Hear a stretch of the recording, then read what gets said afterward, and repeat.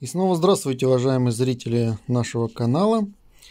Сегодня расскажу про химтрейлы. Нам все время рассказывают, что это инверсионный след. Но на самом деле инверсионный след выглядит по-другому. И сейчас я вам это продемонстрирую.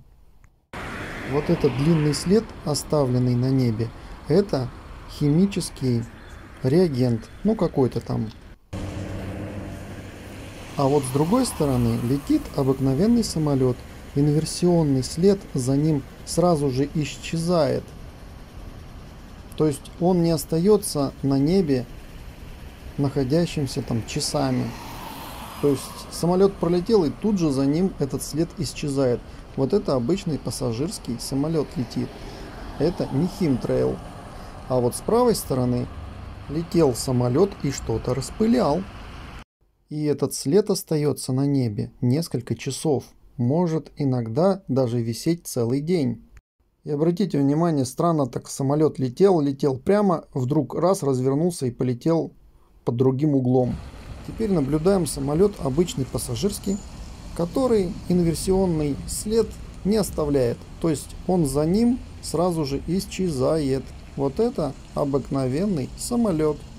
И заметьте, ничего не распыляет. Причем самолеты летят с одной скоростью и на одной высоте. Вопрос, почему одни самолеты оставляют инверсионный след, а другие нет. Причем наблюдения показывают, что высота самолета в районе 10600 метров. Причем неважно, пассажирский самолет это или самолет, снабженный каким-то химическим реагентом.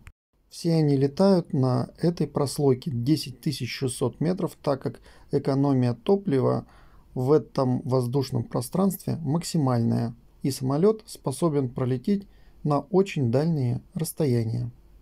Благодарю за внимание, кто досмотрел это видео до конца. Жду ваши комментарии, что вы по этому поводу думаете.